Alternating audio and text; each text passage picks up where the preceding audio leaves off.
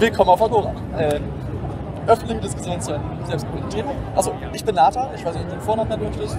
Dorian. Dorian. Ja, Dorian. Äh, ja, was ist dein Thema? Was möchtest du gerne diskutieren? Also ich ähm, würde gerne über die Kontroversen zum Thema Cancel Culture sprechen.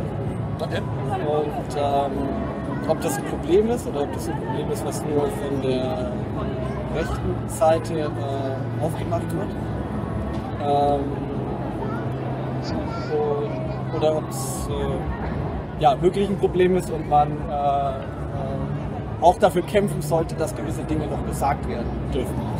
So muss ja manchmal, äh, ist ja manchmal angegangen.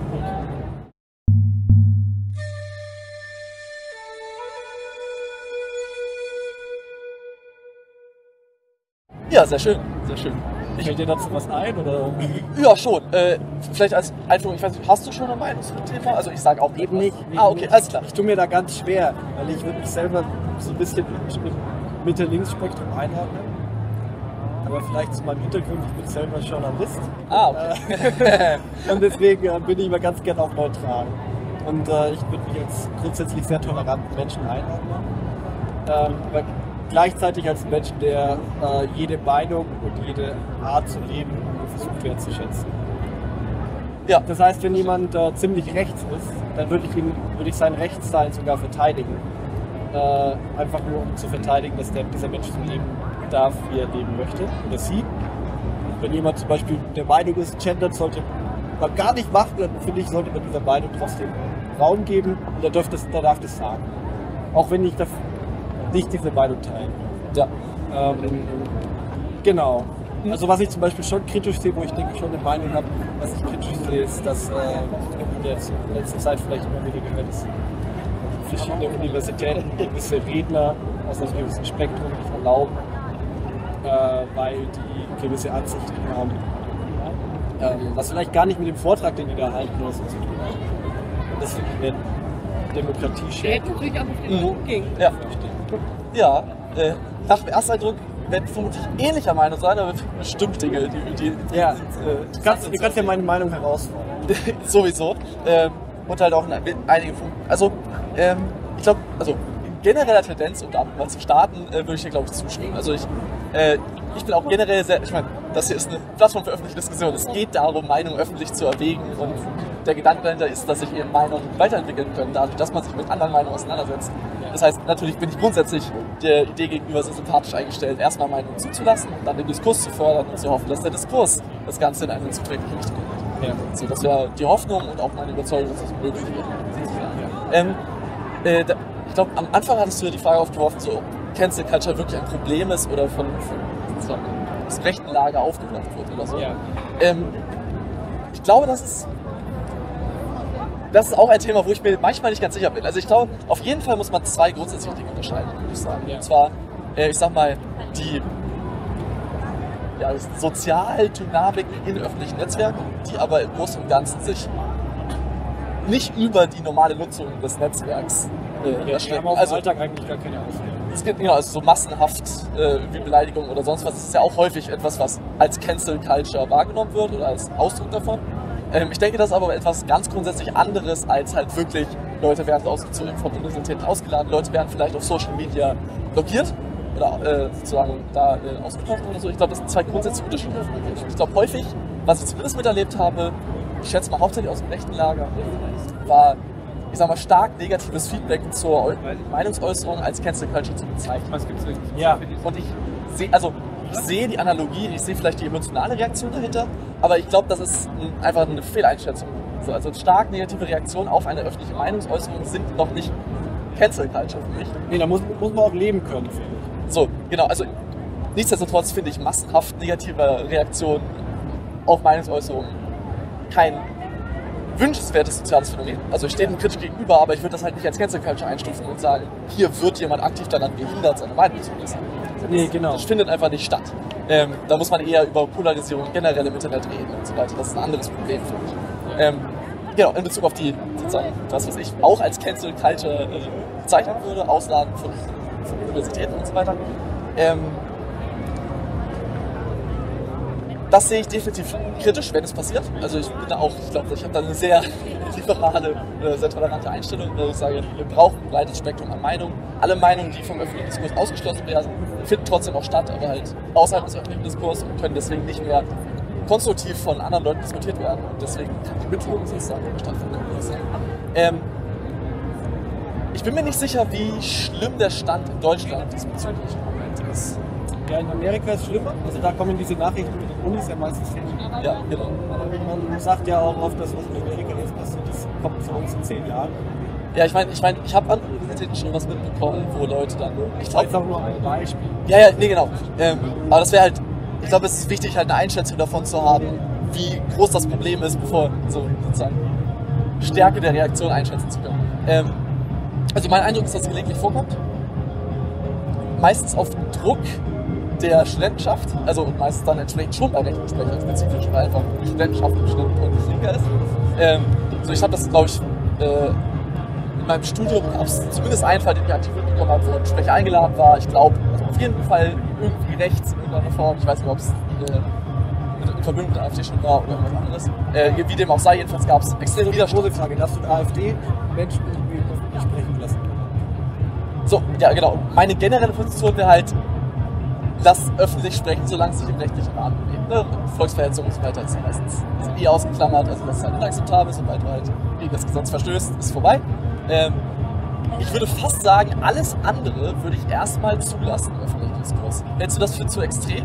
Siehst du da, würdest du eine andere Wenn wir bei der AfD bleiben, finde ich, das Problem ist halt schnell, dass die ähm, sich nicht mit dir auf, dass viele AfD-Politiker zum Beispiel dir auf Diskussionsebene äh, begeben, auf dem man mit gewissen Spielregeln spielt, Ja, sondern äh, die nutzen diese Plattform dann, um ihre eigene Agenda durchzubringen, äh, die antidemokratisch ist zum Beispiel.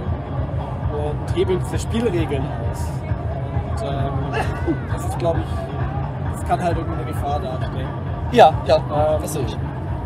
Ähm, Ich persönlich, wenn ich jetzt eine, eine Talkshow hätte, oder so, ich würde AfD-Leute einladen. Ähm, und ich würde auch nicht versuchen, die in, das rechte Spektrum, also in ihrer Nazi-Haftigkeit zu überführen, wie es ja oft gemacht wird. Weil dann äh, gießt man da nur Öl ins Feuer. Und äh, die sagen einfach, ja, ihr wollt uns immer nur zu Opfern, ihr wollt uns immer nur in diese rechte, Spektrum stellen, der wird alle gegen uns verschworen. Und das ist ja genau der Narrativ. ja. Das will ich eigentlich nicht. Ähm, nee, aber ich würde einfach, in dem Fall würde ich einfach sagen, okay, was, wofür seid ihr denn? Was wollt ihr denn, ähm, äh, ja, was wollt ihr denn verändern? Nicht wogegen seid ihr, aber das ist jetzt nochmal ein Thema für sich. Ja, ja, genau, Wie so geht man, wie, Handhaben geht man, öffentlich wie, geht man, wie geht man mit äh, zum Beispiel äh, der AfD? Also unser Thema war ja eigentlich Cancel Culture. Ähm, ja gut, aber es wäre ja auch Cancel Culture, wenn wir jetzt sagen, wir laden keine AfD mehr. Ja, Oder, oder wenn zwei weiße Männer, wie, wie wir zwei, am Ende noch zwei heterosexuelle Männer, wir dürfen gar nicht über dieses Thema reden. Das ist das vielleicht ein Problem. Ja, Weil wir sind ja nicht betroffen. So, genau. Das, heißt, das wäre das nächste oder die interessante Verbindung, auf die ich hinkommen wäre. Also ich finde deinen Punkt absolut valide, dass man sagt, naja, wir müssen mit den Leuten reden. So, aber wenn jemand halt, wenn das eine Diskussionsveranstaltung ist und jemand hat bewiesen, dass er oder sie nicht in der Lage ist zu diskutieren oder nicht willens ist zu diskutieren, sondern eben die Plattform nur zu nutzen, um die eigenen Standpunkte zu verbreiten, ohne sich auseinanderzusetzen oder so, dann finde ich das einen legitimen Grund, die Person auszuschließen. Aber der Grund ist dann eben nicht die politische Überzeugung, sondern Aber da würde dieser ausgeschlossene Mensch dann sagen, aha, ihr macht die Regeln, ihr habt die Macht, ihr schließt mich aus, das ja, Wie geht man mit so einer Aussage um? ähm, idealerweise hat man eine gute Rechtfertigung für das, was man tut. Und eine ehrliche Rechtfertigung. Ähm, und ich glaube, mehr kann man nicht tun. Also wenn jemand ausgeschlossen wird, aufgrund einer, sagen wir, die Person hat schon mehrfach, war schon mehrfach auf irgendwelchen Diskussionsveranstaltungen und hat sich wirklich sehr, sehr, sehr schlecht verhalten. Also offensichtlich nicht gemäß den Normen einer Diskussion. Ähm, wenn dann eine weitere Plattform sagt, na, dich laden wir nicht ein oder dich laden wir aus, weil du dich schlecht verhalten hast, dann muss man einfach, also ich glaube, die beste Reaktion, die man haben kann, ist, man kommuniziert, kommuniziert das klar, belegt das Ganze mit Beispielen oder sonst was. Und wenn dann die Reaktion kommt, das ist doch Cancel Culture, kann man, glaube ich, nichts dagegen tun. Ich glaube, das Einzige, was man tun kann, ist langfristig dem treu bleiben oder da konsistent argumentieren und langfristig dem sozusagen durch den Ansch diesen Anschein zu widerwirken, indem man einfach irgendwann aufzeigen kann, okay, wir haben aber auch die Person eingeladen, wir haben auch die Person eingeladen. Das sind auch Leute aus deinem politischen Lager, aber die haben diskutiert und deswegen sind sie da. So, äh, und sorry, was hast du zu sagen? Ich möchte nicht. Äh, Nee, nee, ich, ich denke nur. Okay. Äh, und der, der zweite Punkt, auf den ich hinaus wollte, äh, das ist eben kein Ausschluss auf Grundlage von Identität. Und andersrum würde ich sagen, so ein Ausschlusskriterium sehe ich nicht nur im rechten Lager. Also es gibt, glaube ich, auch in, also jeder mit sehr extrem oder sehr gefestigten oder emotional basierten politischen Überzeugungen. Ich sehe häufig Leute mit der Tendenz, die nicht in der Lage oder willens sind, sich argumentativ mit anderen Positionen auseinanderzusetzen. Ähm, das heißt, das wäre für mich ein generelles Kriterium. Das wäre, das ist sozusagen für mich was wenn es Cancel Culture ist, dann ist das für mich ein unproblematischer oder vielleicht sogar ähm, erstrebenswerter Aspekt von Cancel Culture. Ich glaube, ich würde es eher nicht Cancel Culture nennen. Ähm, und ich würde das halt abgrenzen. Ich würde sagen, Leute, die nicht diskutieren wollen oder können, haben bei Diskussionsveranstaltungen nichts zu tun. Ja. Aber das ist eben unabhängig von der politischen Überzeugung und dem Inhalt vertreten. Ja. Ja. Ja, verstehe. Verstehe. Ich habe manchmal Leute so Selten. Es gab manchmal Leute, die halt mit der Gruppe da waren. Ah ja. Ja. Also ich habe gerade noch versucht, äh, was ich gerade gedacht Ja. worüber ich gerade nachgedacht habe. Was, ich habe versucht, mich mal reinzuversetzen als so ein Menschen, der irgendwo ausgeladen wird, weil er angeblich die äh, Diskussionsregeln nicht befolgt. Also ich habe jetzt mir nur vorgestellt, es gab jetzt zum Beispiel dieses äh, Interview mit äh, Höcke, glaube ich, im ZDF, wo er dann gesagt hat, er bricht es ab und der kommt auch nie wieder Öffentlichen. Weil er fühlt sich da ungerecht behandelt, weil er, weil, weil er ständig, weil er ständig nur versucht wird, nachzuweisen, dass er Nazi wäre, weil seine Argumente nicht gehört werden. Ähm, er hat sich dann so eine Opferrolle die. Das ist ja, passiert ja ganz oft. Ja. Und ich weiß gar nicht, ob das wieder beim ZDF war, keine Ahnung. Aber auf jeden Fall, äh, da frage ich mich dann so ein bisschen, er ist ja nicht dumm. Äh, deswegen gehe ich davon aus, dass es bei ihm Kalkül ist, Strategie ist. Und er eigentlich schon weiß, dass er gegen gewisse Diskussionsregeln verstoßen hat. Aber bei vielen anderen Leuten könnte ich mir vorstellen, die fühlen sich, die fühlen sich einfach dann wirklich ausgeschlossen. Die fühlen sich wirklich äh, als Opfer. Ja. Die sehen, sehen Talkshow-Hosts, Politik, die Polizei, keine Ahnung, alle, die irgendwie Macht diesem Land oder in der Gesellschaft, denken, die, die stecken alle unter einer Decke und schließen uns aus. Ja. Da frage ich mich, ist es nicht gefährlicher, die auszuschließen? Oder sollte man diese Gefühle ernst nehmen von diesen Menschen? Ähm, Ja. Also, ich würde sagen, man, sollte die Gefühle ernst nehmen, aber das ist ja erstmal keine sehr gehaltvolle Aussage, weil Nein. man nicht weiß, was das heißt. Ne? Ähm, also, ich würde sagen, man sollte die Gefühle ernst nehmen, aber es ist eben, ich glaube, der öffentliche Diskurs findet in verschiedenen Ebenen statt und in verschiedenen Rahmen. Und ich glaube, Diskussionsveranstaltungen, beispielsweise im Rundfunk oder sonst was, können einfach einen gewissen Standard an ihre Gäste annehmen. Ähm, und das sollten sie meiner Meinung nach nicht lassen aus dieser Angst heraus.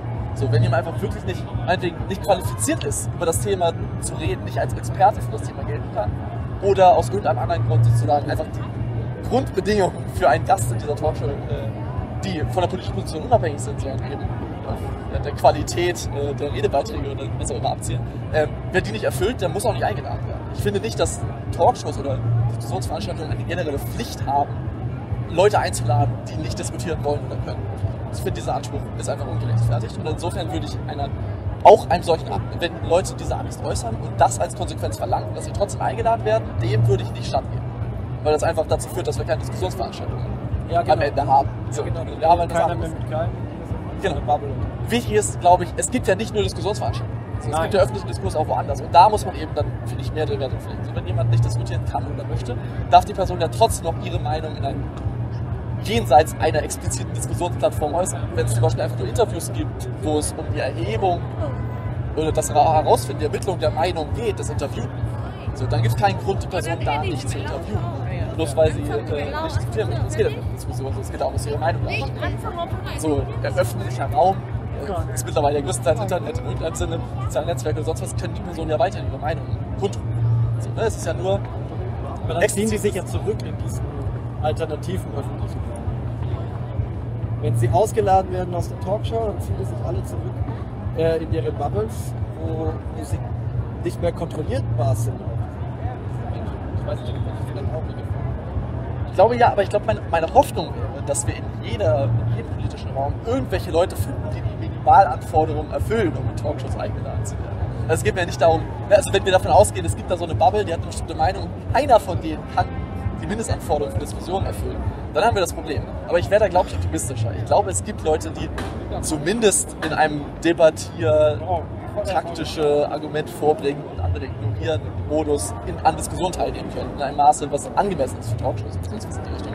Und mir ging es eben darum, solche Leute da einzuladen und dadurch sozusagen diesen, dieser Gruppe von Leuten Sprachrohr zuzugestehen, und zwar ein Sprachrohr, was eben im Rahmen einer Diskussion angemessen ist.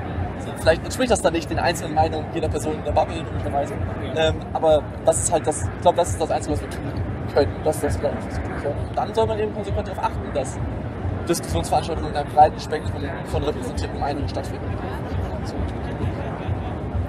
Also das ist so, sozusagen der Weg, wie man äh, ja, möglichst, möglichst offen und möglichst viele Meinungen zulässt. Ohne Das Ziel, ist ja, das Ziel ist ja eigentlich, dass sich keiner, dass sich möglichst wenig Leute ausgeschlossen fühlen. Ja, ja, ja das, das eine Ziel. Das andere Ziel ist eben immer noch, einen konstruktiven gesellschaftlichen Diskurs hinzubekommen. So, das, ich glaube, das sind die zwei manchmal widerstreitenden äh, Motive, die wir haben als Gesellschaft. Wir wollen möglichst viele Meinungen zulassen, aber wir wollen halt auch Rahmen haben, in denen diese Meinungen nicht einfach nur geschrien werden, sondern eben miteinander diskutiert werden und ein Austausch stattfindet. Und ich glaube, wir müssen beides hinbekommen als Gesellschaft. Natürlich ist das schwer und ich glaube, man befindet sich als Gesellschaft konstant in so einem Optimierungsprozess. Es ändert sich ständig wieder was, aber ich glaube, das ist so die ganz grundsätzliche Spannung. Das ist ja schon mal gut, dass irgendwie äh, eingrenzen zu diesem Konflikt. Ich glaube, ja, ich glaube, oft ist das gar nicht so ganz klar. Ja, nee, eben, genau. Also voll äh, äh, auf einer Seite. Ja, Vielen Dank. ja, ebenso, ebenso.